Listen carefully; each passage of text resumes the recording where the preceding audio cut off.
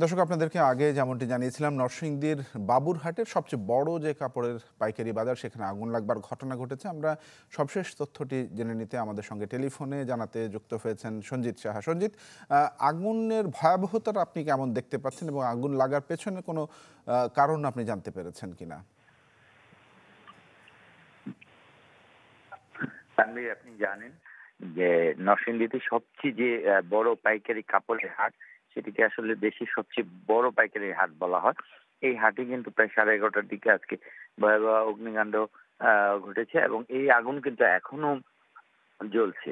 কারণ আপনি জানেন যে বাবুরহাটে প্রায় কম বেশি পাঁচ হাজার কাপড়ের দোকান রয়েছে এবং এই কাপড়ের যে মার্কেট সেটার গলিগুলো আসলে অনেক সরু এবং রাস্তাঘাট গুলাও কিন্তু সরু, যার কারণে কিন্তু ফায়ার সার্ভিস আসলে ঠিক মতো কাজ করতে পারতেছে না। আপনি জানেন যে এই আগুনটা একটি কাপড়ের দোকান থেকে সূত্রপাত হয়েছে বলে আমরা প্রাথমিকভাবে জানতে পেরেছি। তবে এখন পর্যন্ত পনেরো থেকে বিশটি দোকানপাট ভস্মীভূত হয়ে গেছে। এখনও আগুন নিয়ন্ত্রণে আসেনি। এখানে আগুন নিয়ন্ত্রণে প্রায় ষোলোটি দমকল বাহিনীর ফায়ার সার্ভিসের লোক কাজ করছে ইউনিট কাজ করছে।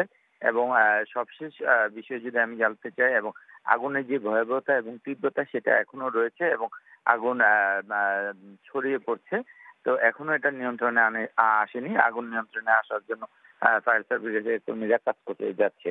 তো আগুনের তীব্রতাটা অনেক বেশি।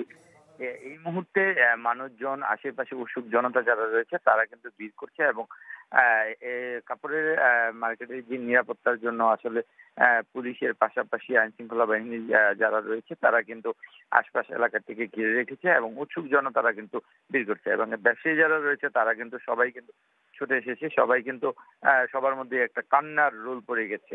আসলে এত বড় একটা ব্যবসায়িক প্রতিষ্ঠান বা ব্যবসায়িক বাজার এই বাজারটিতে এই দুর্ঘটনাটা আসলে কেউ মেনে নিতে পারছে না এবং এর নেপথ্যের কারণ কোনো আছে কিনা সেটাও এখন পরিষ্কার করে বোঝা যাচ্ছে না। ফায়ার সার্ভিস বলছে যে বিষয়টা তদন্তাধীন এখন আসলে নিয়ন্ত্রণে কাজ করছে সেই জন্য আসলে এই বিষয়টি স্পষ্ট করে জানানো যাচ্ছে না।